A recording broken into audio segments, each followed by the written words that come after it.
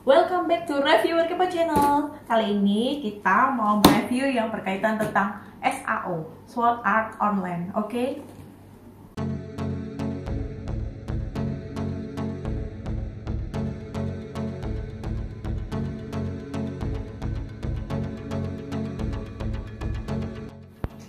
Kirito dan Asuna ini diproduksi oleh Bandai Putu Bandai. Tapi ini yang seri espresso ya. Tampilan tampak depannya seperti ini. Kurang lebih nanti jadinya kayak gini. Dan kalau yang untuk Kiritonya keren kan? Mari kita unboxing kita buka yang untuk Asuna dulu ya oke isinya apa aja sih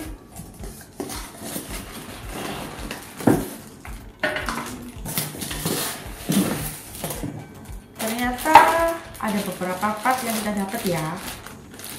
Ini pedang-pedangnya dan efeknya nih.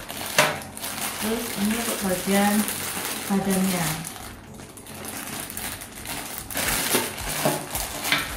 Mari kita buka.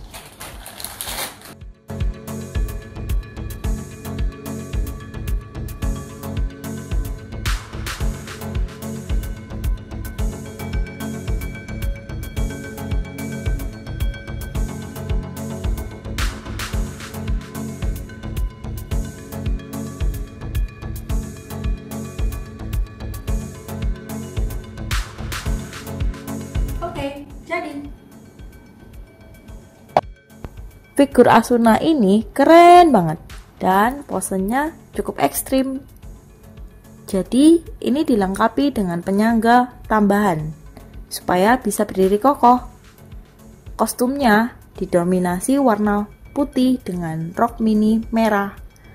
Lalu ada efek angin warna biru clear sehingga membuat figur Asuna ini terkesan tambah keren. Oke, selanjutnya kita Kirito. Kita buka. Partnya kurang lebih mungkin sama ya.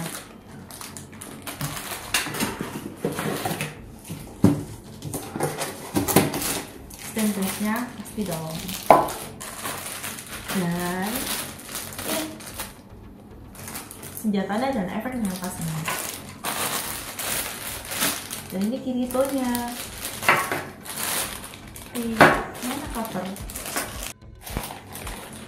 Set, set. Um, kilipan yan.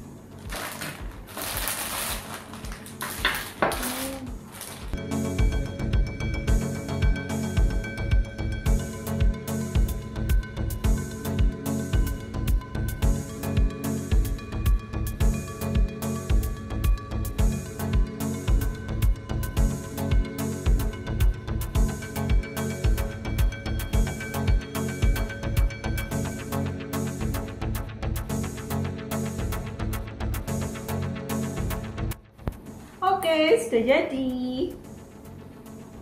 Kalau kalian bingung, kalian bisa lihat ini deh panduan dari kotaknya. Karena nggak ada buku petunjuknya sih, cuma dari tampilannya tinggal pasang ini. Topnya udah klop kok sama. Oke, jadi pose figur Kirito ini juga nggak kalah ekstrim loh dengan kostum dominan warna hitam memegang dua pedang, dan juga ada efek angin. Membuat figur Kirito ini jadi semakin cakep. Penggemar SAO wajib punya deh pokoknya.